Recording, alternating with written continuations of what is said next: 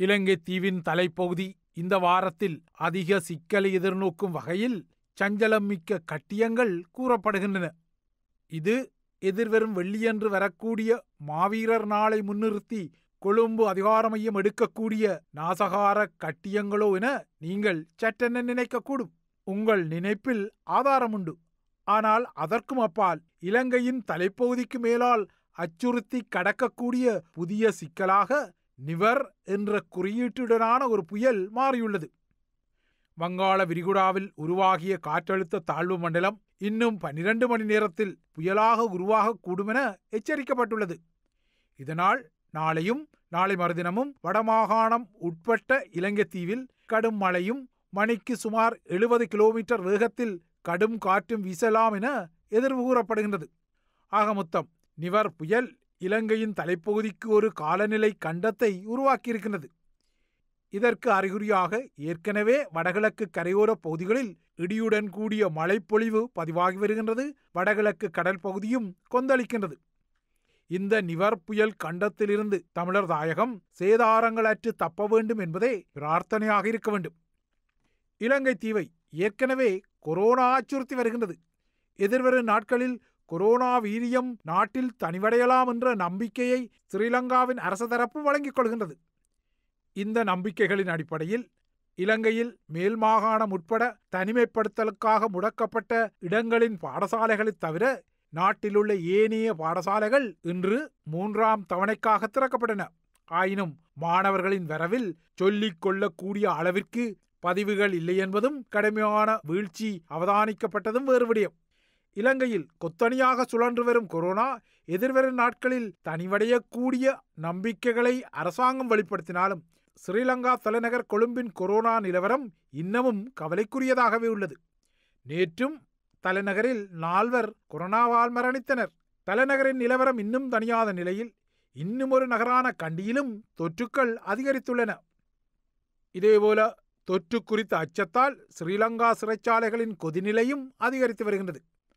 இதற்கிடையே கொரோனா தொற்று காரணமாக அலரி மாளிகை தற்காலிகமாக மூடப்பட்டுள்ளதான செய்திகளில் உண்மையில்லை அவையாவும் வதந்திகள் என மகிந்த மாளிகையிலிருந்து அவசரமான அறிக்கையிடல் ஒன்று வந்துள்ளது. எனினும் அந்த அறிக்கையிடலில் அலரி மாளிகையில் தற்போது மட்டுப்படுத்தப்பட்ட ஊழியர்களே பணியில் இருப்பதாகவும் அலரி மாளிகையின் பாதுகாப்பு பிரிவில் உள்ளவர்களுடன் தான் தொற்றாளர்கள் சிலர் தொடர்பு பட்டுள்ளதான தரவுகளும் குறிப்பிடப்பட்டிருப்பதை இங்கு அவதானிக்க வேண்டும். இவ்வாறான பாதக நிலைமைகள் இருந்தாலும் மழைக்கால இருட்டானாலும் கொப்பிளக்க பாயாத மந்தியாக ஏனைய தேசிய இனங்கள் மீதான பிடியை தளர்த்திக் கொள்வதற்கு கொழும்பு அதிகார மையம் தயாராகவே இல்லை.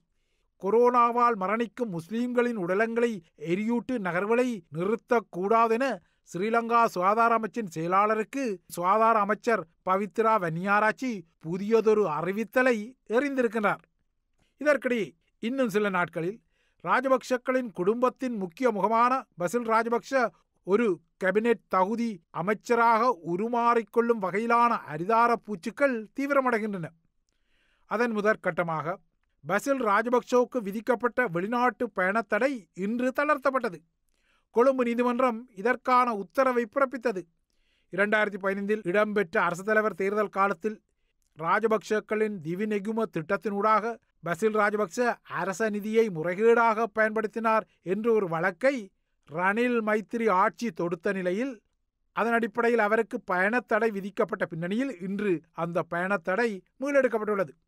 இதற்கிடையே ஸ்ரீலங்கா அரசியலமைப்பின் இருபதாம் திருத்தம் வழங்கக்கூடிய அதிகாரங்களை ருசி பார்த்துக் கொள்வதற்கு முதன்மை தலையாரி கோட்டாபாய ராஜபக்ஷ தயாராகிக் கொள்வதால் எதிர்வரும் வாரங்களில் ஸ்ரீலங்காவில் ஒரு அமைச்சரவை மாற்றம் இடம்பெறக்கூடும். இந்த அமைச்சரவை மாற்றத்தில்தான் பசில் ராஜபக்ஷ அமைச்சராக அரிதாரம் பூசிக்கொள்ளலாம் அதே சமகாலத்தில் கோட்டாபாய ராஜபக்ஷவும் இருபதாம் திருத்தம் ஊடாக அமைச்சுக்களை பொறுப்பேற்கும் நகர்வுகளும் இடம்பெறக்கூடும். முன்னியர் ரணில் மைத்திரி அரசாங்கம் கொண்டு வந்த பத்தொன்பதாம் திருத்தத்தில் அரசு தலைவர் ஒருவர் அமைச்சக பொறுப்புகளை வகித்துக் கொள்வதற்கு தடை விதிக்கப்பட்ட நிலையில் இப்போது பத்தொன்பதை மீளெடுத்து இருபது புகுந்து விட்டது இதனால் இரண்டாயிரத்தி பதினைந்தாம் ஆண்டுக்கு முன்னரான காலம் திரும்பிக் கொள்கின்றது. இந்த காலத்தின் அடிப்படையில் கோட்டாபாய ராஜபக்ஷ விரைவில் பாதுகாப்பு அமைச்சகத்தையும் புதிதாக உருவாக்கப்படும் முக்கிய அதிகாரங்களை கொண்ட தொழில்நுட்ப அமைச்சகத்தையும் தனக்காக அமுக்கிக் கொள்ள தயாராகின்றார். இதற்குரிய அறிகுறிகள் ஸ்ரீலங்காவின் புதிய வர்த்தமானி அறிவிப்பு ஊடாக தெரிகிறது. இதனைவிட புதிதாக சீனாவின் பாணியில் மினிஸ்ட்ரி ஆஃப் பப்ளிக் செக்யூரிட்டி எனப்படும் பொது பாதுகாப்பு அமைச்சகம் ஒன்றும் கேபினெட் தகுதியில் உருவாக்கப்பட உள்ளது. இந்த அமைச்சகத்தில் ஸ்ரீலங்கா காவல்துறை மற்றும் குடிசார் பாதுகாப்புத்துறை உட்பட்ட கட்டமைப்புகள் இணைக்கப்பட்டு தற்போது மாகாண சபைகள் மற்றும் உள்ளூராட்சி ராஜாங்க அமைச்சராக இருக்கக்கூடிய ரியர் அட்மிரல் சரத் வீரசேகரவை இந்த பொறுப்பில் குந்த வைப்பதற்கான திட்டங்களும் வரையப்படுகின்றன.